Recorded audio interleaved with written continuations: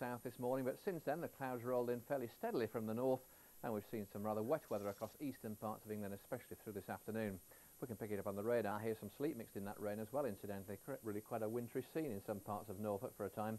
But we saw this rain band moving fairly steadily southwards during the afternoon, and it's now running across Essex and Kent, with far fewer showers following on behind. That cold front responsible for those rather dreary conditions. That's going to be scooting out of the way onto the continent very quickly this evening. Then the high pressure takes over, and with this anticyclone, a good deal of fine weather to come for the next two or three days. But it will stay chilly, and there'll be fairly general frosts at night. So many of the showers fading away for a time, but they'll keep going in the north and east of Scotland, some wintry ones there, and always a chance of further showers returning to that eastern coast of England right the way through the night. So away from the coast, it will be a chilly night. There'll be a touch of frost in many areas. There could be some icy roads in the east as well following this afternoon showers. Typically 0 to minus 2, but could be down to minus 4 in some southwestern parts of Scotland. But it's in sheltered southern and western parts where you'll have a nice bright start on Friday. Lots of sunshine throughout the day, really.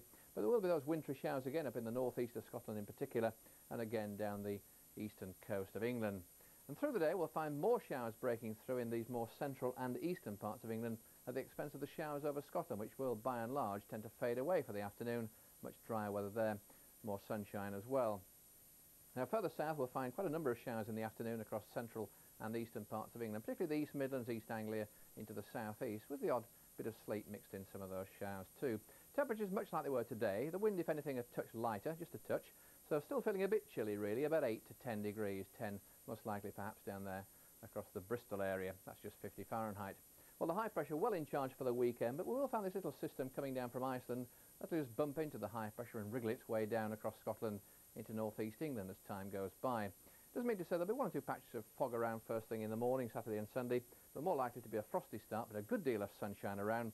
Then some wintry showers feeding into northern Scotland during Saturday, then feeding further south down the eastern side of England on Sunday. But many places having a fine weekend. That's it from me for now.